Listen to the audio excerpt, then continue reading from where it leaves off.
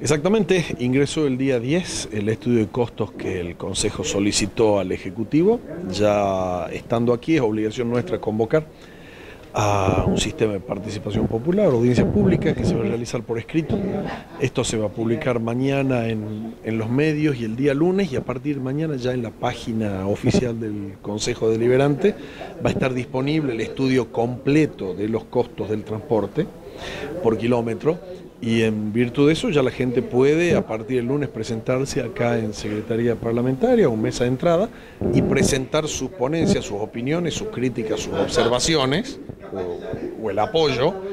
de manera totalmente gratuita. Eh, tiene que ser por escrito, lógicamente, y eso, una vez vencido el plazo, que van a ser 10 días hábiles, se van a analizar todas y cada una por parte del cuerpo legislativo. Exactamente, es algo muy simple, eh, siendo una ciudad grande como, como Jujuy,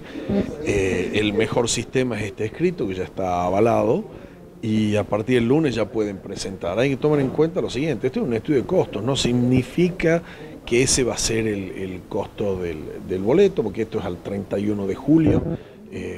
Está ni siquiera convocado para aumentar o ajustar el boleto, tiene que escuchar a la gente, se va a convocar también probablemente a quienes llevaron adelante el estudio y se va a analizar cada uno de los ítems que ahí están explicados.